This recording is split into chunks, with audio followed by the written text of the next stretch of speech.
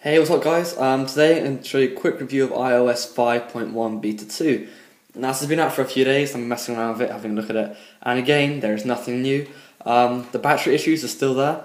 Um, I have to charge it, I think it's getting worse to be honest. This is the 3GS, I have to charge it quite a bit more during the day as well sometimes now. Just keep it going. See, it's on 51% now. I've only been using it for about 4 hours, which isn't really the best.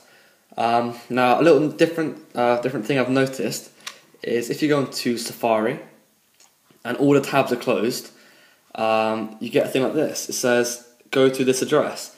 Uh, this is new. It's not no biggie. It's just little things. Just go to this address and type in whatever you want. That's a little different thing I've noticed. Apart from that, it, that is the only thing I've actually seen that's different. Um, if you want to find out what's new in iOS 5.1 Beta 1, look in the description below, and I'll be able to tell you what that is. So also another little thing I noticed, which is different to the previous beta, is if you go general, uh, software update, it will actually check for the update now and not say error. So this is kind of suggesting that maybe um, the next beta update will be over the air. If you know what that means, basically means instead of plugging it in and restoring it and updating it, which you have to do for the betas, it will update it over the um, Wi-Fi without having to plug it in or anything, which is pretty good.